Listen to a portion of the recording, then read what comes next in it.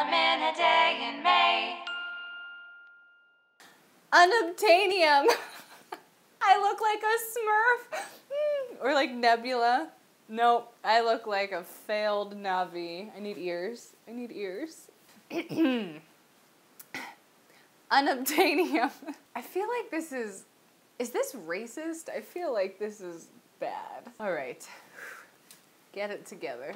Unobtainium in the movie Avatar. Uh, it's a mineral that is necessary for life on Earth, but because of its scarcity, humans needed to mine unobtainium from the moon Pandora, but they couldn't actually survive on Pandora themselves, so they used avatars.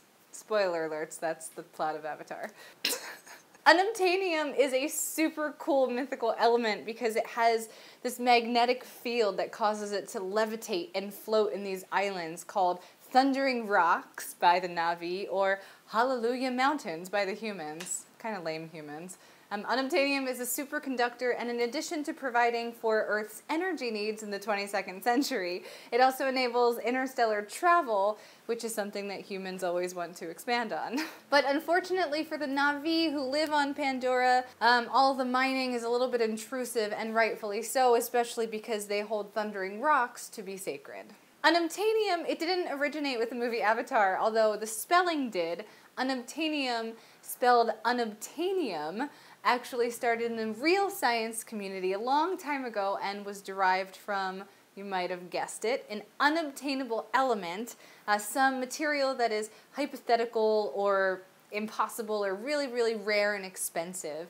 And this term originated with aerospace engineers in the 1950s, uh, which I think is pretty awesome, especially because it's something that these guys obviously had a sense of humor about, but then it landed in the dictionary. It became a real thing. I wonder if they had the same excitement that kids have when they find the word ain't in the dictionary. Like when I was younger, my family used to say, ain't ain't a word because it ain't in the dictionary. But as a kid, I looked it up and ain't was in the dictionary, so I was pretty excited about that. But I'm not going to be like, take that, parents, because now there's words like YOLO in the dictionary, and honestly, I'm not sure how I feel about that.